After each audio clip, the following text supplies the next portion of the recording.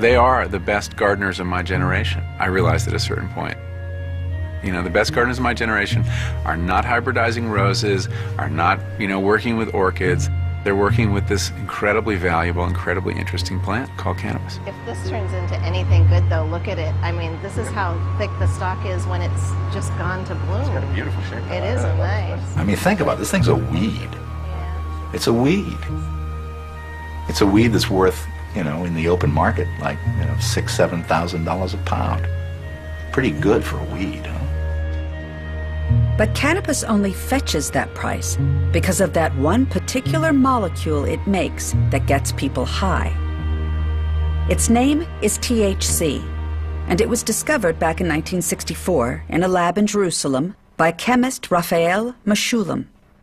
Cannabis had not been well investigated, which was strange. After all, it was being used illegally or illegally by millions of people, and yet we didn't know that much about it.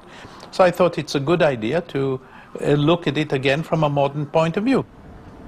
In the lab, Mechoulam and his colleagues broke cannabis down and zeroed in on the chemical components that might be causing its effects. We isolated about 10 compounds. Surprisingly, out of the 10 compounds we isolated, only one, which now is known as delta 9 tetrahydrocannabinol, in short THC, only one causes the well-known uh, high.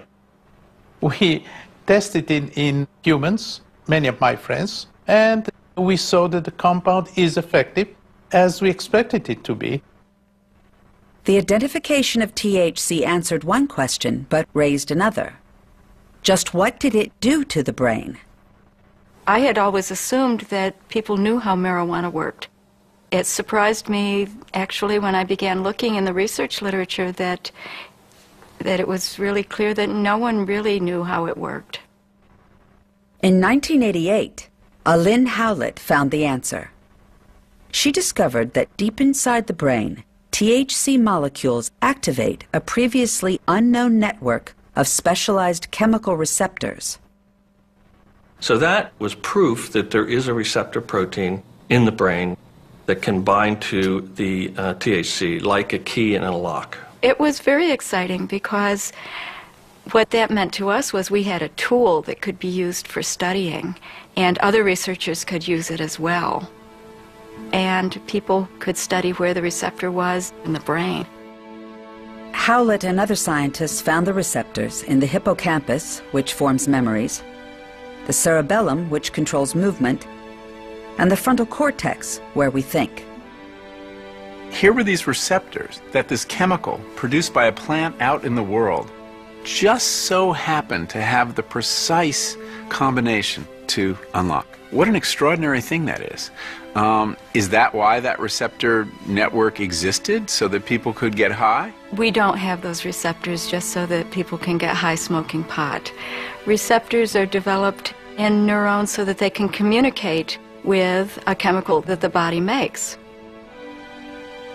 So that was the logic behind going in and trying to extract a compound in the brain that would act just like marijuana did.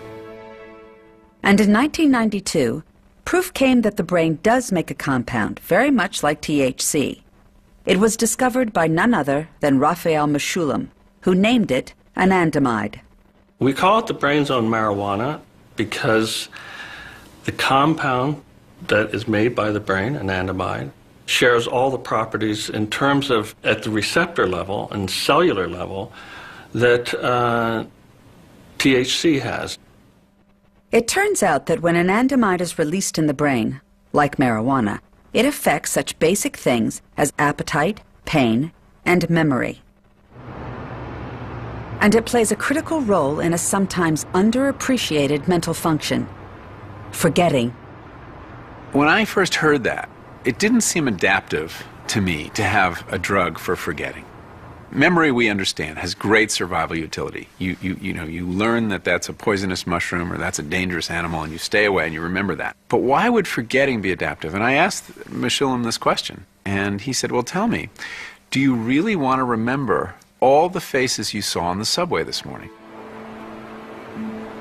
Forgetting well is almost as important as remembering well. Forgetting is about editing.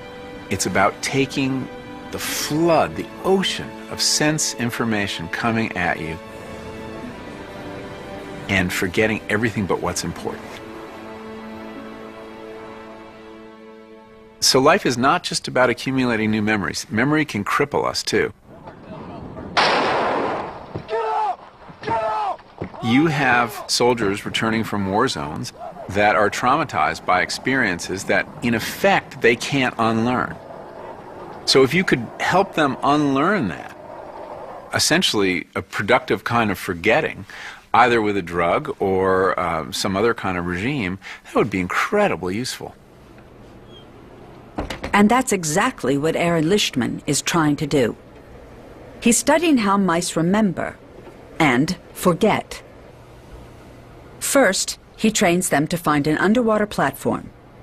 The mice are natural swimmers, but they're looking for a way out. They swim all around the perimeter of the tank. They're swimming, swimming, swimming. Sometimes they bump into the platform by mistake and they climb onto it. Other times they never find it. So then at this point, he's been at it for a while. And the experimenter has to gently guide them to it or place them on the platform. Then, Lichtman takes the platform away. A normal mouse quickly realizes the platform is gone. But a mouse whose anandamide receptors have been blocked is unable to forget.